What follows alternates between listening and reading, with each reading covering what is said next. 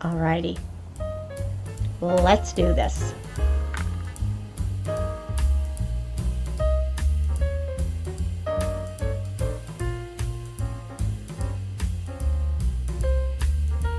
Hi everyone, I'm Nancy and welcome back to my channel. To my viewers, my subscribers, thank you guys so much for taking a few minutes out of your day to spend with me. It means more to me than I can ever let you know. So thank you so much from the bottom of my heart. If you're new to my channel, I hope you would take a quick second, hit that little subscribe button over there. I would love to have you come back and join us for future videos. Today we are going to do an awkward, an awkward video. Not sure how this is going to go online. Part of the beauty is getting ready before you do a video is nobody sees the mess ups that you make. So this should be interesting to see if I can do this on camera or not. So we are going to show how I pin this mop up and try put try some wigs on. I've got a few of my favorites here. I got four wigs to try on from Temu. And yeah, so let's just get started, shall we? So anyway, my hair was washed this morning. Other than brushing it, of course I do have to dye it again. That's funny how it goes like every four or six weeks. But anyway, this is what my mop looks like. I would love to try to brush this out and do it nice for you. Let me try at least try to get this part down right. But if I brush it, it's just going to get bigger and bigger and bigger. So first what I do is I take some big bobby pins and I'm going to just kind of take this right here, pin it back, put a big bobby pin in like that to try to hold that down. Got another big one here and we'll do the same on this side just kind of pin that down. Now usually what I do is I just try to separate it like I'm going to do two ponytails. And I just kind of take one I'm just going to try to twist it a little bit to try to grab some of the little hairs in the back. And this is where because I cut like nine inches off my hair a couple of nights ago. Yeah I haven't been to uh, place it professionally does my hair in a long time. And I'm just going to twist it put it up there to hold it and then I'm going to take this other one do the same thing. I'm just going to try to twist it try to grab some of those little hairs back there and put it up here. And of course if you have shorter hair it's much easier than that but if you have longer hair like I've been doing this for a while just like this and it gets gets it up gets it out of the way. Now some people say you put a ponytail in the back but if you got a long hair then it gives you like a big bump back there. Um, I use one of these little stocking caps and I'm just going to put it over just to try to hold things in put it up a little bit have my ears sticking out again just try to stick anything loose under there and that's as easy as that is and that helps kind of keep this nice and flat so I picked four of my favorite wigs. This one you see me do quite a while. And this one is the shorter one. And sometimes if I've done a couple like wig changes if I started with one, tried something else on, and then go to this.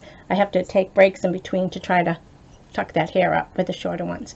So normally what I do, if I haven't taken worn it in a while, because I usually just keep these in the bags that they came in, and I just kind of shake it, kind of loosen it up again. Now these ones have this little strip right here in the back, and then these little tabs right here so that you can make it so that it's tighter. And then there's like little loops in through here that you're going to put it in. So let me just grab some. I never know exactly sure where to put it because I'm only I'm not wearing them all day long most of the time. Um, that I'm just of course I probably need my glasses on to see what I'm doing here. But anyway when you're just doing a video here and there. It doesn't as long as it doesn't fall off. And then just put them right here on each side and this front part right here you're just going to put it on like you're putting on a bathing cap. Well I don't know if anybody wears bathing caps anymore but remember in the old days when we would go swimming or take a shower? We're going to put it on like that give it a little stretch in the back. I just kind of tuck my fingers underneath to make sure that I don't have any loose hair sticking out. Take my ears out and there's like these little tabs that you can really hardly see. And you just kind of move them around to adjust it a little bit and I just kind of push them in a little bit. This part right here, you're just kind of going to go up to where your, like your natural hairline is. And then just kind of, most of the time I try to finger finger it to put it in place. And then, and that's basically how it goes. If you got a mirror, you can see what you're doing a little bit better because when you look in the monitor, you do, like doing things backwards. At least on mine, it is. And anyway, either just take a comb like this or I've got like picks that I can use. I actually have a wider one, but not exactly sure what I did with it. And so that's like the first one that I put on. You can kind of put it behind your ears if you want like that to have your ears showing a little bit more or brush it back like that. Let me put my glasses on to see how it looks. My comb just fell. So anyway, that is the first one that I did. And of course, if you want to put a fascinator right here or a hat, so that's the first one. Let me grab my stuff and I'll get the, uh, the second wig to try on. Alrighty, so we got the second wig, and this is one of my favorites. So it's got that, it's a little bit longer length, a little shorter in the back. It's got a little bit longer hair in the front. This one has bangs. I didn't really trim the bangs, so I just kind of sweep them off to the side. And it's got that ombre effect. So again, we're going to do the same thing. Just going to hold it upside down. Just kind of shake it a little bit like that. Let those fibers get a little loose and again it's got that strip right there in the back and those little tabs or hooks that I put there so same thing I'm going to go into it like I'm putting on a bathing cap pull it back over the back of my head take my ears out there's these little tabs on the side that you just kind of wiggle it so you think that you got it straight and I just kind of push them in push this up to like where my natural hairline is put my glasses on so I can see what I'm doing this time. Phew, it's hot. And then just kind of brush it out, whether you use your fingers to do this, if you have a wig brush or a pick.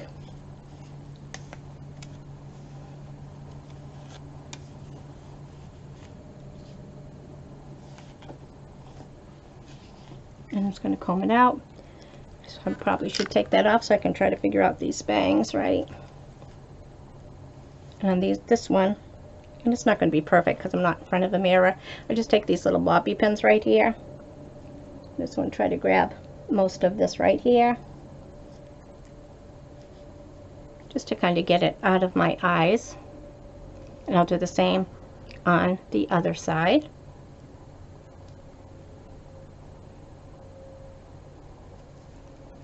and again I'm just going to tuck that in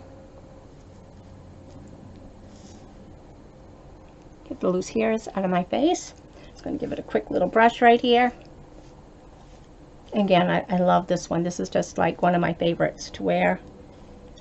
Alrighty, so we got that done. Is that easy? Nice and neat.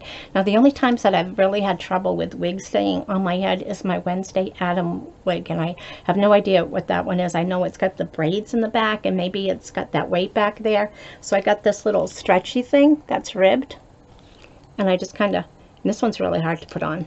So I just kind of stretch it get it over my head. I've already got my wig cap on and I'll put it about right here maybe a little higher. And that's been helping hold that Wednesday Addams wig in. I think maybe I've done it like two or three times with this and it did not slip at all. So anyway next let's do this long wig one over here. So I'm going to take this off and I'll be right back Alrighty, so let's do this long wig. So this, it's a little bit lighter inside, so maybe you can see what I'm talking about right here on the back of the wig. At least these ones from Temu, I'm, I'm sure expensive wigs have a different way of doing it. But anyway, it's got these like ribbons right here, and you got this hook, and you just put it in between one of the ribbons. So let's do this one. This one's a little bit longer. Now I've heard different ways of taking care of them and I did buy um, um, wig shampoo and wig conditioner and then later on I said someone said yeah just you know because this is all synthetic fiber it's not real hair at all that you really just kind of just so I use like a capful or less of shampoo put it in a bowl with some cool water and then I put the wig in there and I just kind of like in a big bowl and I just let it soak for a little bit. I don't wring it out or anything. So I just kind of let it sit in the bowl like that. Then I take it out, rinse it under the water, get the suds out, and then I just kind of like squeeze going like here. And then I'll put some more water in a bowl. And instead of conditioner, what I'm using is Downy. Because I say since it is a synthetic fiber, that the Downy, any kind of clothes softener uh, like that, or like Woolite, anything like that, is what you can use to help condition it and keep it nice. And yeah, it smells nice and fresh too after. So that's what I do when they start to look a little, ugh, you know. But anyway, these are all ones that I've got from Temu. The prices have really been amazing. So again, this is a long one. Just kind of shook it out.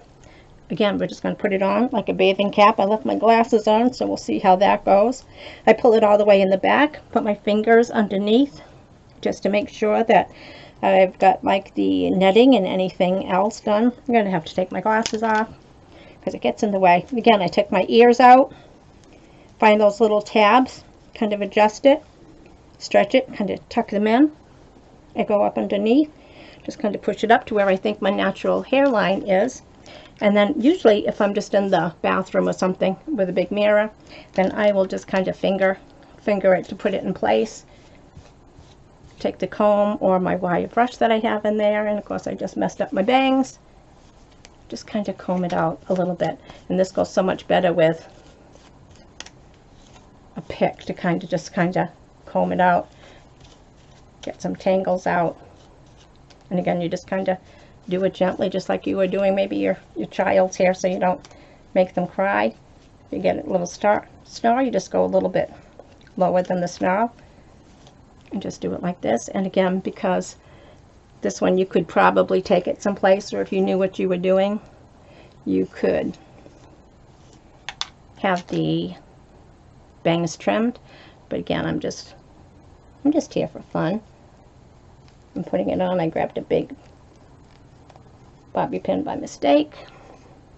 That's not the best one that I did. And again, just, just kind of put it off to the side. Or again, if you know what you're doing, you can have you can cut the bangs yourself or you can take it to a beauty parlor. I really don't think they would charge you that much to put the wig on and just kind of customize it to where you would need it. And again, just kind of brush it loose like that. I should probably fix this one right. I should probably fix that one. Because now I can't get my bobby pin out. Again, these are just so much fun to wear for me. And you saw what my hair looked like before. It didn't always look like that. So unless I put it back in a big ponytail or a messy bun, or when I do get my hair cut, and I haven't been in so long, but I donated my hair for maybe the last 30 years whenever I would go to get my hair cut. And, but it is such a lot of work. I would get it. Yeah, it's much easier to do when you're in the other room. But yeah, so it's but then when I do have short hair, then I've got to style it and blow dry it. And yeah, it's a lot of work when it's short. When it's like this, it's just so much easier to just kind of put it up on top of my head, have a messy bun, and then on days that I want to film or do something fun like that, put a wig on. So I got my favorite, one of my favorites over here, my Dolly Parton wig. So let's take a second, put that one on, shall we? I'll be right back. Alrighty, so again, this is one of my favorites. This is like a fun wig. You know, it's kind of, maybe reminds me, was it the 70s, uh, early to mid 70s? We had like that shag hairstyle and Farrah Fawcett and just had all these layers and it was just a lot of fun back then. And because I had hair that would do whatever I wanted it to back then. And maybe, you know, chalk it up to heart medications and cancer and COVID and who knows what else. If I can blame something on COVID, I can blame it on COVID. So I don't know if that had something to do with my hair changing like that. But anyway, these wigs just make it so much fun. From Temu, they are, all these wigs are from Temu. I've got, I've got more too. But they are just so much fun to kind of change out changes your look, changes your mood. It's like maybe putting on different jewelry or earrings or different color eyeglasses or how people have like lenses for their, their eyes to give their eyes different color and eyeshadows. It's just fun to kind of accessorize, give yourself a new look, have a little bit of fun while we can, right? And the prices of these wigs are all amazing. I mean, they have, you know, wigs on Temu that are more expensive. They've got wigs that are made with human hair. I stick to these little synthetic ones and because I'm just wearing them for fun. So my the prices that I've been paying is anywhere from like $6.99 to like 12 or $13. Most of them are like 7 to $9 range. And yeah, so just a little bit of fun. Hope I explained enough um, how easy it is to tuck your hair up no matter what kind of hair you have. If you've got short, short hair, you could even do that little ponytail in the back or just kind of pin it back with bobby pins. Just try to keep it as flat as you can. Longer hair like this, you just kind of do what I did. You kind of separate it, get it off your face, split it into two ponytails, crisscross them, and then wrap them on your head like that and you are good to go so anyway this was a lot of fun it's hot changing wigs in the same place so anyway i want to thank you guys so much for stopping in spending some time with me. If you have any questions, let me know. Or I can try to find the links for these ones. They, they change quite a bit, but just kind of doing searches on wigs, you're going to be amazed. There are thousands there has to be thousands. And sometimes you'll see the same wig, but it's by different um, suppliers, different vendors, so they've got different prices. And again, once they come through and you've got them ordered and there's a price reduction within 30 days, you're going to see that when you check your detail order details, get some lower prices on them makes it even funner. So anyway, thank you guys so much. I hope you all go out. Have a fabulous, fabulous day. Take care, everyone. Stay safe. Be kind. Be happy enjoy life, have some fun. Love you guys so much, and we will see you in our next video. Bye-bye.